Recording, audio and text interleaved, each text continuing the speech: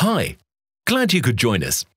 In this video, we'll show you a new and revolutionary product, the Velotype keyboard, designed in the Netherlands.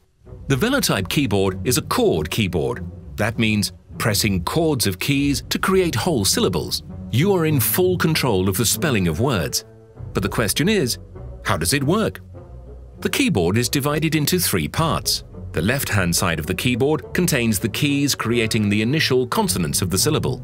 In the center, you'll find the keys for the vowels. And on the right-hand side, the keys to create the final consonants. Let's start by typing some individual letters.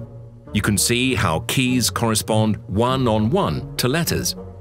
But we decided to push it further. We can create letters by pressing two keys at once. This saves room of extra keys on the keyboard Nice, right? But why stop there? You can see how initial consonants, vowels, and final consonants can be pressed simultaneously to create syllables. After each stroke of keys, you automatically get a space. By pressing the no space key with the palm of your hand at the same time, the syllables are being put together.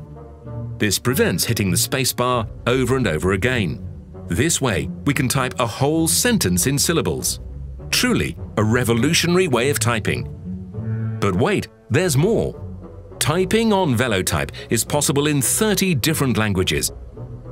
Velotype. The art of typing. And you can learn typing on the Velotype within a short period of time, completely by yourself, with the Velotype Academy software.